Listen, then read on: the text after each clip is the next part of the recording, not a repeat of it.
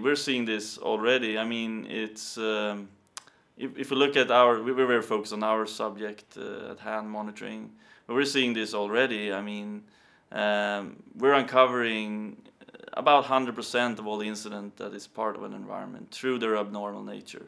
So a very typical things like somebody doing a penetration test in a in a environment is typically never seen by IT traditionally. Uh, because it's not visible. But with uh, a capability with machine learning, uh, as normally applies, we just uh, surface the anomalies that that creates. So we universally see what's going on in, in the environment without picking a, putting a label on it in advance.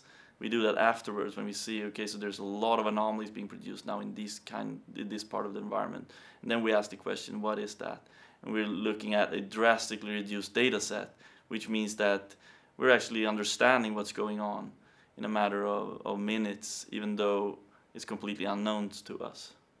So where we will be in, with that kind of capability is that it's the it's about resilience, it's about risk management and, and having that control, meaning that the comfort of understanding that when we have irregularities in our environment, we will be able to go to a specific point and understand what it was that means that organizations can be more uh, forward looking. They can take larger risks, which is what many of our larger clients are facing. Like, how do we change more frequently?